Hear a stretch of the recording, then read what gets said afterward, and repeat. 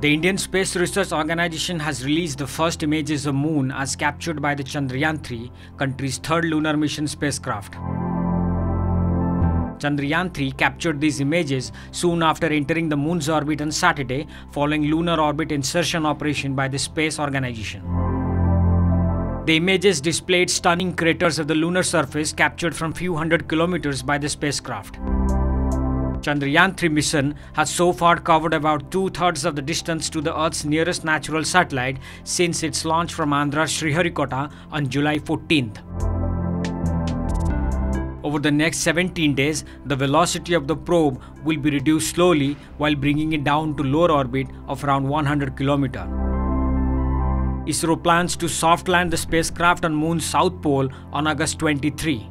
The massive project will make India only the fourth country to do so after United States, Russia and China. Upon landing, Chandrayaan 3 will operate for one lunar day which is approximately 14 Earth days. With Bureau Report, OTV News.